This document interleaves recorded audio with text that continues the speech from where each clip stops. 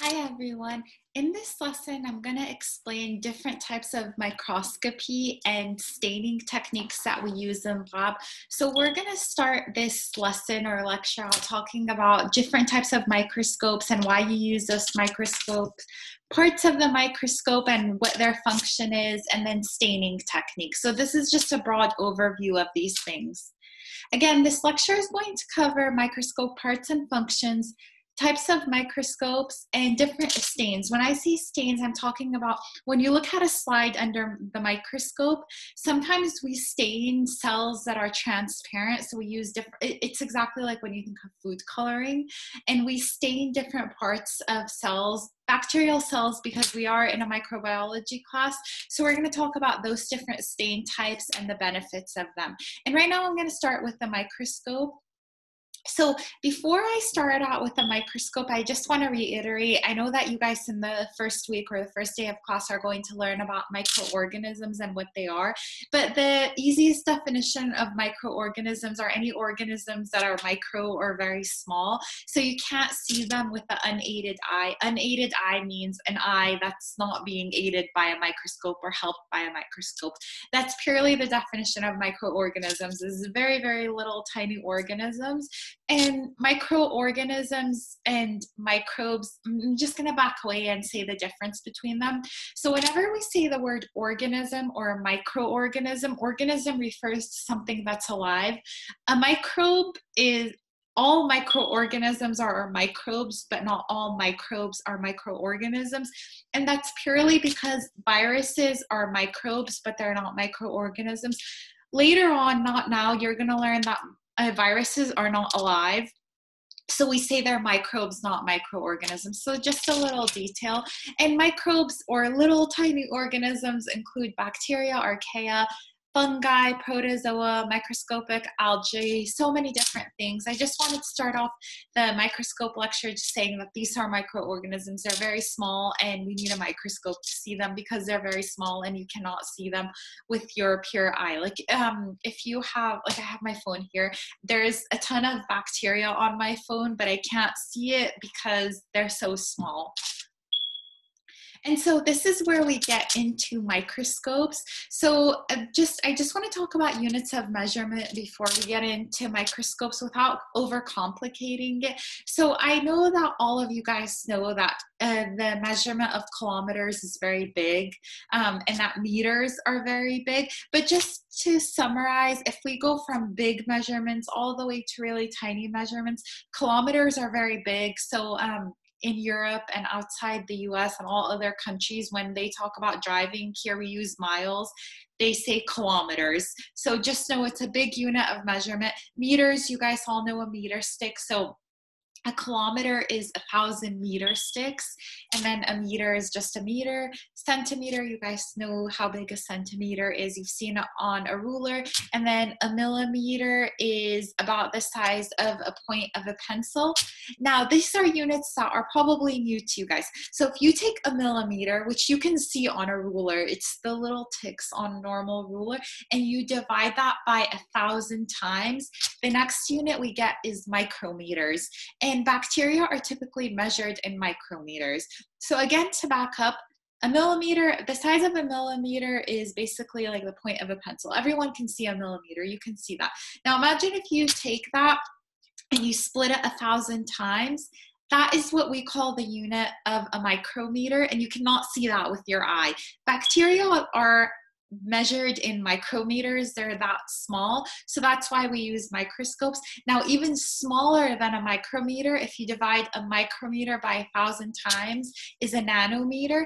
And viruses we measure in nanometers. So viruses are generally much smaller than bacteria. So again, bacteria are measured in micrometers, and a micrometer is a thousand times smaller than a millimeter. So E. coli, which is a very common bacteria that we use for reference for a lot of things, is a couple micrometers long. Viruses are measured in nanometers, and nanometers are a thousand times smaller than micrometers. Just as a reference, I don't want any of you guys to measure this, but because um, COVID 19 is a very prominent topic right now this year, um, the virus that causes corona or COVID 19, that coronavirus, SARS CoV 2, and you'll learn about it later in the semester, is about 100 nanometers big. So it's measured in nanometers. Okay, now to get to microscopes. So when we look at measurements, so we talked about measurements, and if we go big to small, meter is very big, like a meter stick, and then nanometers are very small. We measure viruses in nanometers. Your eye can see up until the millimeter range, so the point of a pencil or the size of an ant. Anything smaller than that, you need a microscope. So the microscope we use is the light microscope. That's a typical microscope that you use in lab and just a typical microscope you see. It's not a very fancy microscope, but it does measure micrometer um, size. Now, bact- most bacteria are, are micrometers in length. If you want to see viruses, so the scientists that are studying like the HIV virus or the SARS-CoV-2 virus, which again causes COVID-19, um, there you're using electron microscopes. Electron microscopes are much more fancier than light microscopes and they measure nanometer length. So that's the take-home message from this slide and again, again, microscopes, we use them to measure small objects. So you use them to look at red blood cells, bacteria. This is what you would look at in lab. You are using light microscopes. So if any of you guys have taken anatomy, I know you look at um, blood cells in anatomy. So you look at red blood cells, you look at erythrocytes, you're using a light microscope. And again, when we get into smaller things such as viruses or structures within cells, so for example, like within cells, there are ribosomes. Those are very, very small. That's when we need electron microscopes, which measure nanometer sizes. So we're going to briefly talk about just the light microscope, types of electron microscopes, and I want you to know that there's more types of microscopes, but these are the ones that I want you to know. A light microscope is a microscope that uses visible light to look at things or specimens, so to look at organisms. And this is what a typical light microscope looks like. So we are going to go through the different parts of the light microscope, but just know the reason why it's called the light microscope is right here. So where, I hope you guys can see where my mouse is pointing, there's light. So when you actually turn on the microscope, that light turns on. And usually you put your slide here, so the light will go through, hit your slide, and then you can see it with your eyes. That's purely why it's called a light microscope. It's using regular normal light so that you can look at your specimen. It's the and the most com. There are different types of light microscopes. Um, the type of light microscope that you typically see or you use in lab is called the bright field light microscope. Sometimes we just say the light microscope, but it is a type uh, the specific type is bright field light microscope.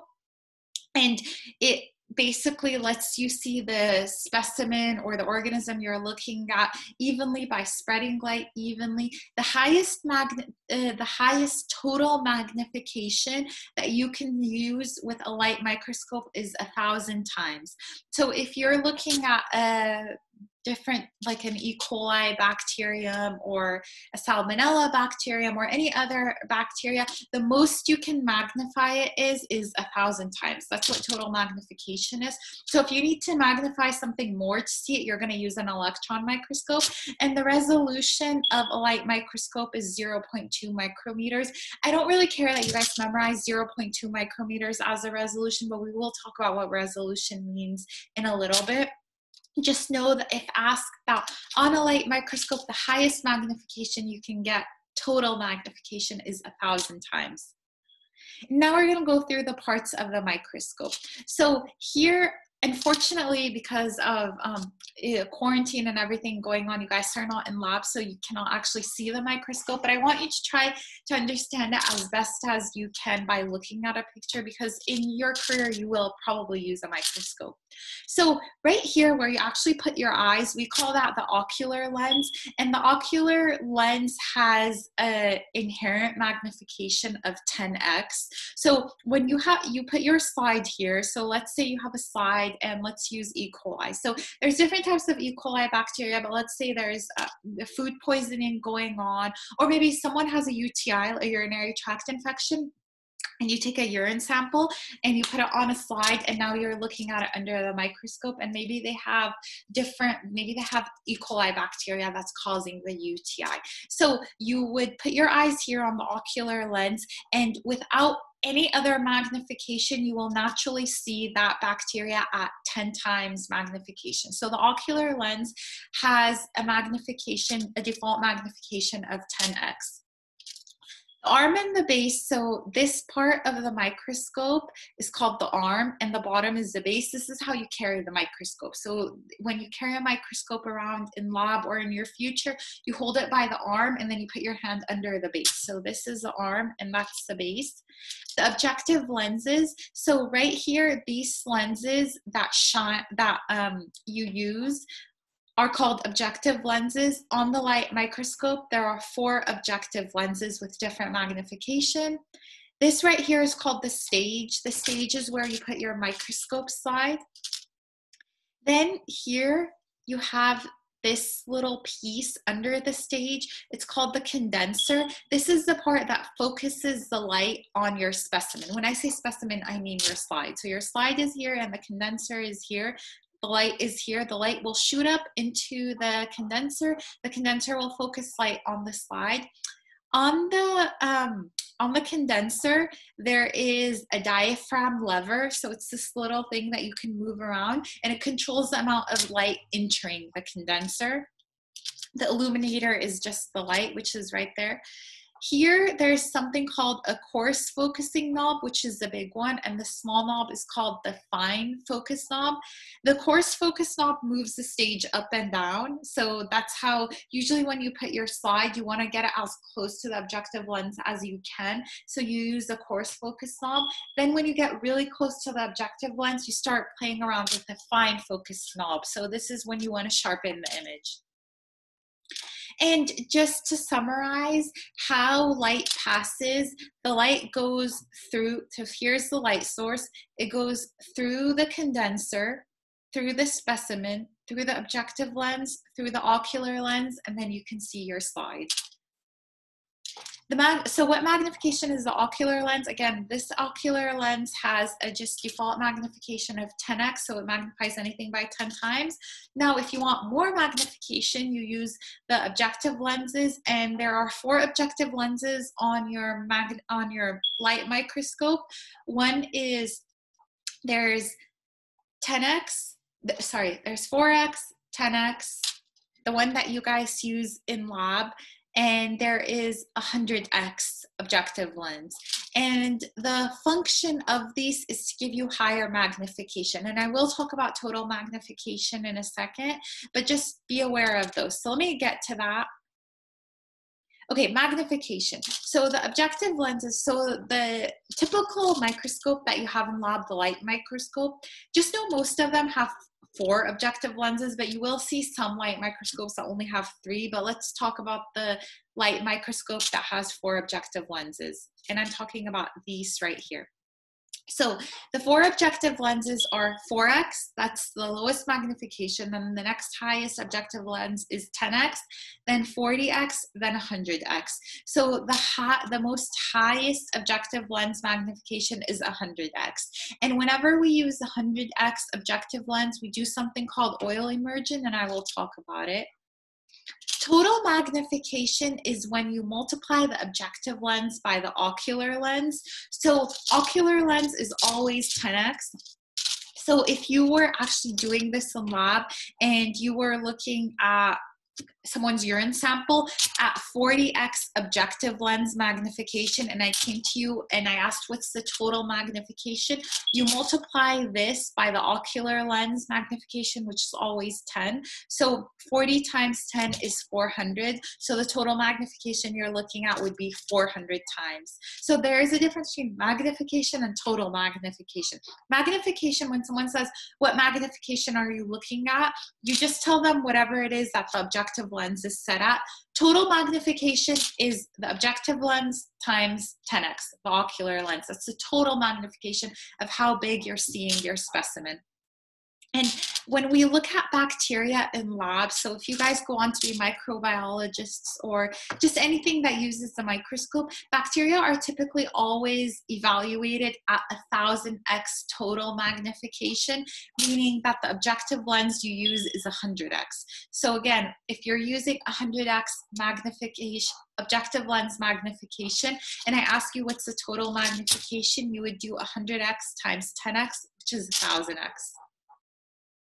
Now we're going to talk about resolution. So resolution is resolving power and it means the ability of your lenses, so your objective lenses to distinguish between two points the higher you everyone you guys all know this so when new phones come out they always typically have better resolution. So higher resolution means better image. That's all it means. So if you have an iphone that has a very high resolution compared to an older iphone it means that when you look at the images they're crisper they're sharper. And resolution means that the lens can distinguish between two points with very little distance. So if we say the resolution is 0.2 micrometers, it means that your microscope can distinguish two points if they're 0.2 micrometers apart. So if we look at this image right here, this is an image of a cell, we can see that this the left side is low resolution, the right side is high resolution.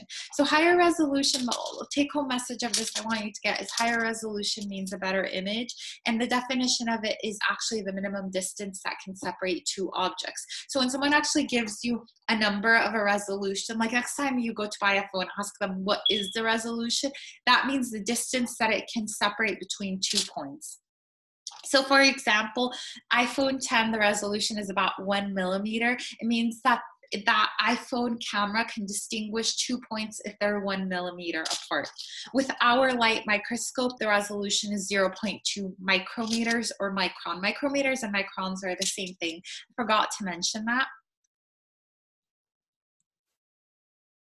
Okay, so with resolution, it's limited by the wavelength of light. So if you guys ever learned this in any class, light is a wave and there's wavelength of light. So because light is a wave, when it hits something, it can bounce off. And the reason I'm saying this is that with the higher magnification, so with 100x objective lens magnification, we have to do something called oil immersion. So that objective lens is very close to your slide. And the reason you have to use oil is because they're so close that when the light from the microscope hits, it bounces off because of the properties of light. And I don't want to get into the details of it, but that's why we use oil. And I'll show an image in a second. So Refractive index means that light bends and you can measure the amount of light bending. So the refractive index of oil and glass are similar.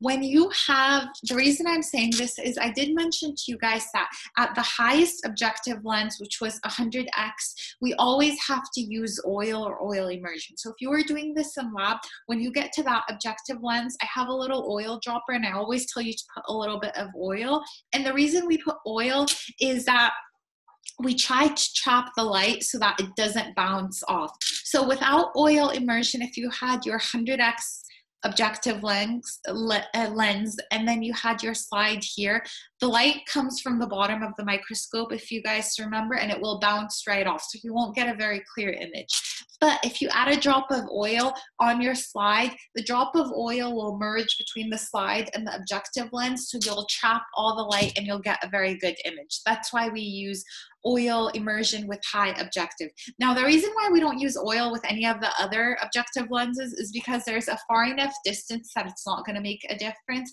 But when you get to a very high objective, the lens is almost hitting your slide, so you want to chop that light in. And again, oil immersion increases resolution at 100x objective lens, meaning you get a much better image and it prevents the loss of light rays. That's the whole point of why we use oil. So we finished now talking about um, oil immersion. Before we get to anything else, I want to talk a little bit about contrast with the microscope. So when we talk, when we, when I showed you the picture of the regular microscope, if you just take like um, a urine sample and you put it on a slide and you put it under the microscope, you're not going to be able to see all the organisms, especially if they're transparent or clear. So that's why sometimes we have to have some contrast so that we can see clear organisms. So most organisms are clear or transparent. Most bacteria are transparent bacteria.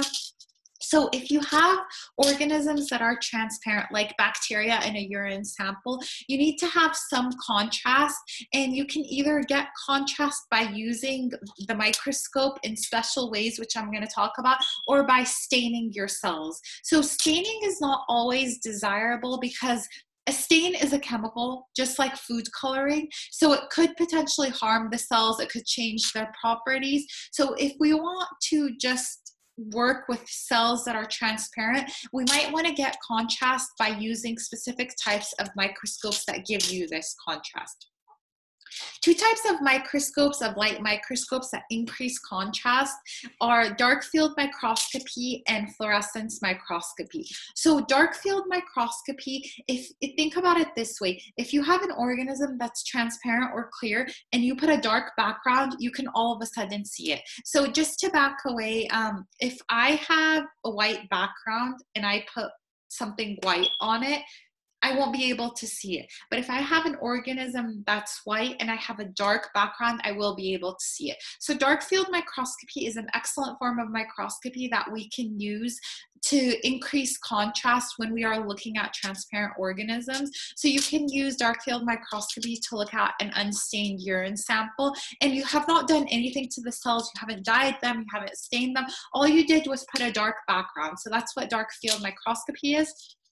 Fluorescence microscopy is another type of microscopy, and with this microscopy, you use fluores- you use a fluorescent microscope, so it shines UV light, and you can see organisms that are naturally fluorescent. So, for example, in the ocean, um, like in San Diego Bay, there are some fluorescent organisms. If you take a sample of that water and you use a special type of light microscope called a fluorescent microscope, you can see fluorescence. Fluorescent, you can also make organisms fluoresce by altering their structure. So these are two types of light microscopes that increase contrast. Dark field microscopy, which uses a dark background so that you can see transparent organisms, or fluorescence microscopy, which uses UV light so that you can see any fluorescent organisms.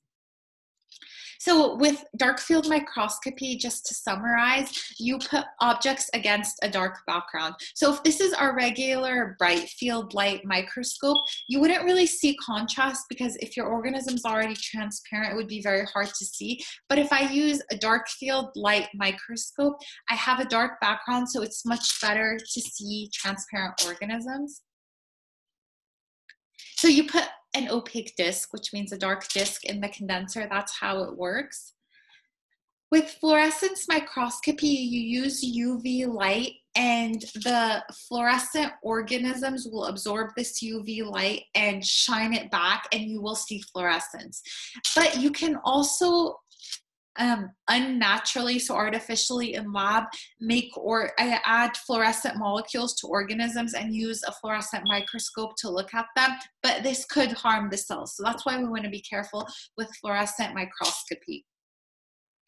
And usually when we do fluorescent microscopy on organisms that are do not naturally fluor, uh, are not naturally fluorescent, you do kill the cells. So now we're going to talk about electron microscopes. So everything I covered so far has been the light microscope. So bright field light microscope, dark field light microscope, and fluorescent light, light microscope. Now we're going to talk about electron microscopes. So with with the light microscopes, we could see things that are nanometers in, uh, sorry, micrometers in size. If we're trying to look at, if we're trying to study organisms that are smaller, such as viruses that are measured in nanometers, you need electron microscopes. So electron microscopes use electrons instead of light to give you a really good sharp image of things that are very small.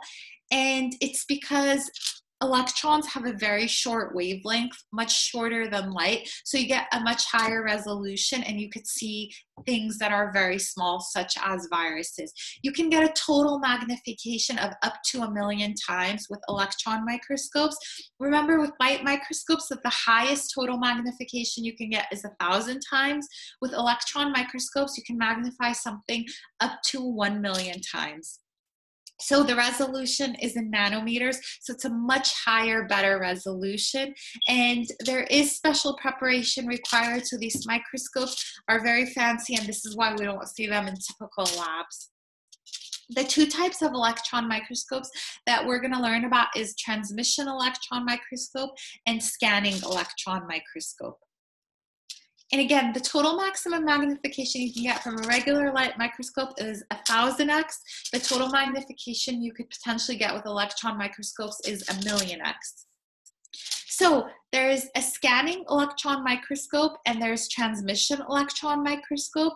To tell you the main difference, a scanning electron microscope scans the surface of an for example, a virus, and it can magnify it up to a hundred thousand times.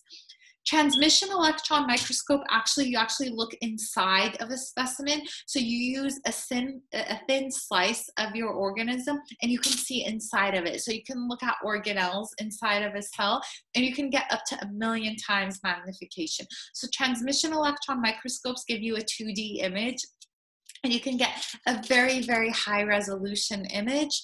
Scanning electron microscopes, you're seeing the surface. So here, this picture right here, it's very small. I put it here for you guys. This is an electron microscope image of SARS-CoV-2, so a coronavirus. Um, this is not SARS-CoV-2, this is SARS-CoV, which causes the SARS disease. You'll learn all about these later, but I just wanted to show you that here we use electron microscopes. So again, scanning electron microscope shows you the surface of something. Transmission electron microscopes actually transmits electrons in the specimen. So we finished with microscopy. Now we're going to talk about staining. Um, with microscopy, the last few slides, I told you that a lot of organisms are transparent, they're clear. So most bacteria, most viruses are clear, you cannot see them. So when we talk about bacteria, a lot of times to study them, you need to stain them, to study them even further. Staining is basically any form of coloring that colors cells. That's all it is. And the purpose of staining is to look at organisms that are clear or to specifically stain specific structures. Um, and we'll, I'll talk about that in a second. So remember that unstained specimens have very little contrast with the slide. So if you want to see them further or if you want to look at specific structures like structures that make an organism move, you would want to use special staining.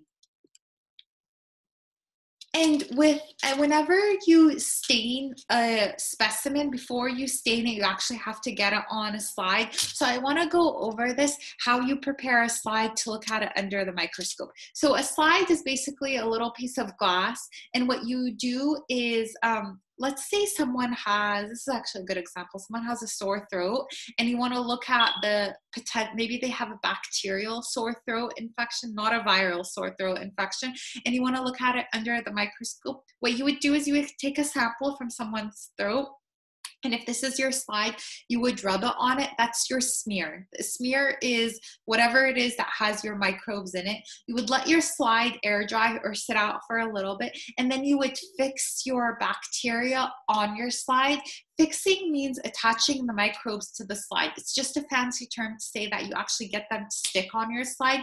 The way we fix microbes usually in lab is through heat. So you take your slide and you pass it through heat, pass it through a Bunsen burner, and this way the microbes attach to the slide and now you can stain them without worrying that they're gonna come off. The types of stains I want you to know after you've created a smear and you've heat fixed them, there are simple stains, negative stains, different differential stains and special stains. So we're going to go through each one, but just to summarize, a simple stain is exactly what the name is. It's just a simple stain. There's nothing fancy about it. A negative stain is a stain that stains the background. Differential stains are stains that differentiate one structure so you get either negative or positive. I'll talk about that. And special stain is everything else that doesn't fall into these three groups. Okay, we'll start with simple stains. So a simple stain is just any basic dye that stains your cells. So if you have your cells on a slide, you could add, it's because you can think of food coloring as a simple stain. And what they do is they stain the whole structure and then you look at it under the microscope and you see, okay, there's bacteria present, yes or no. It doesn't give you any details, but you can at least stain something so that you don't get a transparent slide. An example of a simple stain is for example, methylene blue is an example of a simple stain. Negative stains, negative stains are stains that stain the background. So some bacteria have something called a capsule. We will learn about this later. So here's your bacteria. Outside the bacteria, there's something called a capsule. A capsule is this gelatinous material that covers the bacteria. And so bacteria that have a capsule are very hard to accept stains. So if I have a bacteria that has a capsule and I add a stain to it, such as a simple stain, it will not stick to the bacteria because of this gelatinous capsule. So with there's a type of staining called a negative stain and with this stain you use acidic dyes that do not stain the cells but stain the background so that you can actually see your cells so Negative stains are any stains that stain the background so that you can see, for example, a capsule on bacteria. Differential stains are stains that are used to distinguish between bacteria, so to differentiate one bacteria from one group of bacteria from another group of bacteria. So an example of a differential stain is a gram stain. A gram stain tells you bacteria, it either differentiates bacteria as gram stain positive or gram stain negative. Another type of differential stain is an acid fast stain. So cells are either acid fast positive or acid fast negative, and we'll talk about these. So a gram stain. A gram stain is a very common stain used in microbiology. So when you have a bacteria and maybe someone has an infection and you take a sample from their throat or if they have a urine uh, infection, and UTI, you take a urine sample and you want to give them the proper medication we typically classify bacteria as gram positive bacteria or gram negative bacteria and gram positive bacteria get different antibiotics typically than gram negative bacterial infections. So to know what type of infection someone has you would do a gram stain if you were a clinical microbiologist in lab. Now to just back away a little gram positive bacteria, when we look at that class of bacteria, they have a thick cell wall, and that uh, cell walls are made up of peptidoglycan. I'm going to do a gram stain lecture video later, but just to, to kind of simplify, gram positive bacteria have a thick, thick cell wall. The cell wall is made up of peptidoglycan, and when you stain them with a gram stain, they stain purple.